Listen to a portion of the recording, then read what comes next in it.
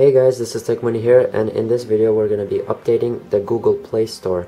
Uh, it just got an update. Um, it's not official yet but you can download it. Uh, there's this one website. Um, I'm going to put a link below in the description so go ahead and click that uh, for now. It's very easy to update. You just have to uh, download the APK file of this app and it will update once you install it so let's get right to it. Before you go ahead with this download um, make sure that the unknown sources are checked in your settings.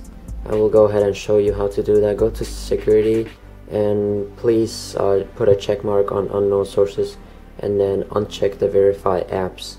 So that way you can install the APK file.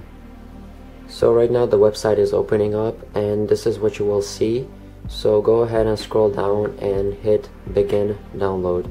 And uh, of course for the free free download you will have to wait 10 seconds. Okay once you waited 10 seconds it will uh, give you some options. I, I would um, try the primary download. If that doesn't work then try the all the mirror downloads. Um, so let's hit the primary download.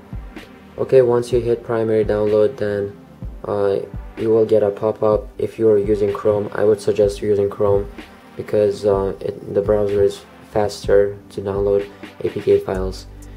So um, once you get this screen uh, you will have to click install.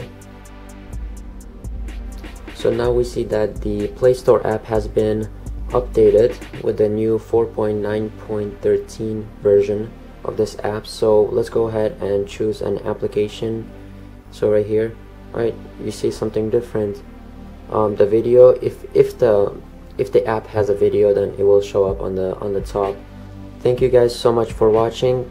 Please subscribe to my channel and hit a like button on this video